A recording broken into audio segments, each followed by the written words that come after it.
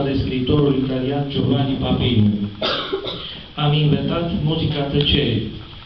Orice muzică tinde spre tăcere și puterea ei stă în pauzele dintre un film și altul. Ofer tăcerea în starea sa de puritate originală.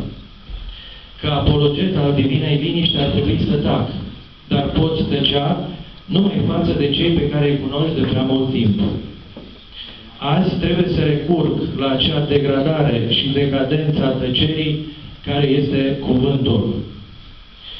Pentru ca trecerea spre cuvântul adresat dumneavoastră să fie mai plăcută, o voi inopila cu câteva versuri ale poetului ardelean Lucian Blaga, care reflectă momentele pe care le trăim împreună. Sufletul omului e în căutare, în mută seculară căutare. El caută apa din care bea curcubeul. Pasiunea este cea care înleznește cercetarea continuă. Ea rămâne elementul esențial al vieții, dar ca să clădești ce ți este dat să clădești, e nevoie de certitudine. Este acesta drumul cel bun?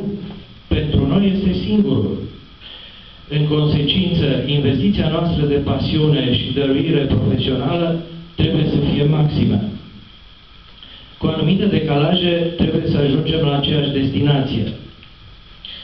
Din pasiune se naște și încrederea.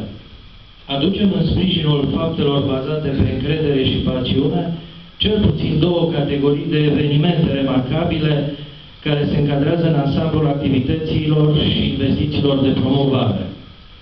Susținerea doctorală a colegilor noastre și ascensiunea profesională la gradul de conferențiar, respectiv de profesor universitar.